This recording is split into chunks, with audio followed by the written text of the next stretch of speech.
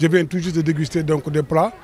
Euh, par exemple, le tchalal que, je n'ai pas goûté depuis des dizaines d'années. Donc je pense que c'est un, souvenir qui me revient. Et c'est pour montrer, c'est pour magnifier donc, euh, le travail remarquable que les femmes sont en train de faire.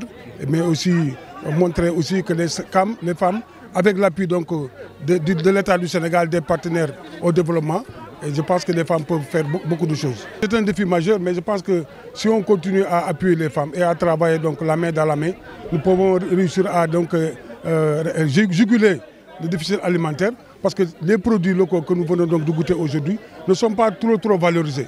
Et c'est le moment donc de les valoriser à travers le pays, à travers les départements, à travers les régions, de façon à ce que les gens puissent les approprier. Parce que nous, au niveau de la commune de Pâle, nous, nous sommes aussi aujourd'hui de réaliser un grand centre de transformation au niveau duquel il y aura toutes les machines qui vont permettre aux femmes de transformer donc, les produits locaux.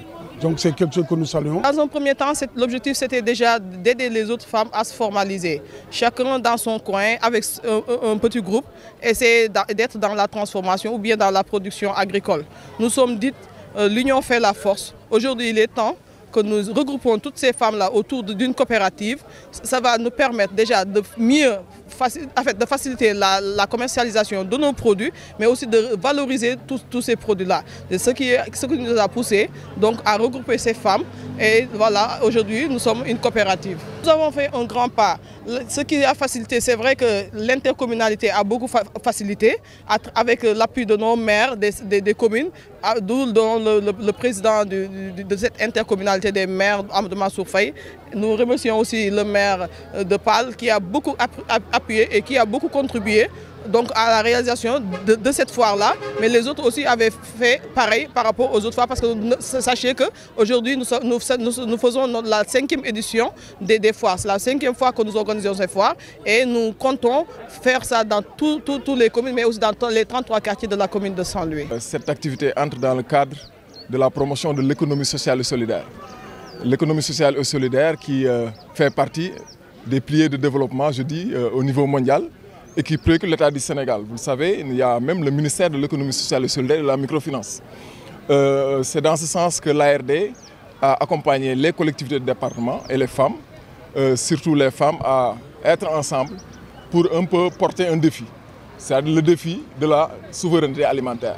C'est ça qui a fait que euh, l'ARD les accompagne à aller vers une autonomisation, disons, entière parce que c'est depuis l'obtention du papier, la formation, à la transformation des produits que les femmes sont autonomes à s'organiser elles-mêmes.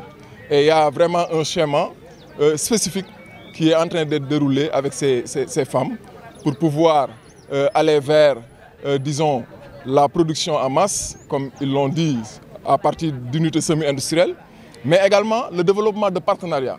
Parce que ces femmes voudraient que ce modèle, mis en œuvre dans le département de Saint-Louis, soit répercuté dans les 47 autres départements du Sénégal. Euh, pourquoi? Parce que tout simplement, cela permet de développer déjà un partenariat qui est entamé à l'instant. Aujourd'hui, nous avons reçu des visiteurs du département de Podor, de Dagana et même de Dakar qui sont déjà en partenariat avec le réseau des femmes du département. Déjà ça, elles l'ont fait de manière autonome. Et c'est ça qu'on voudrait vraiment développer pour qu'elles puissent arriver à produire. C'est pourquoi, par rapport à la souveraineté alimentaire, le thème de cette rencontre, c'est la souveraineté alimentaire, quelle place des femmes et quel rôle de nos plats traditionnels.